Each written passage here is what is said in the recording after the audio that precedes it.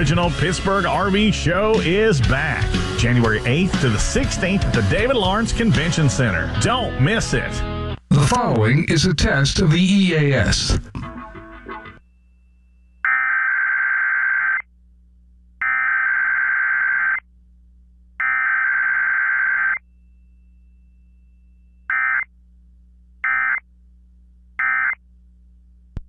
This station is testing its emergency alert equipment. The EAS provides timely emergency warnings. This station serves the extended Pittsburgh operational area. This concludes this EAS test. Visit Wilson's Farm.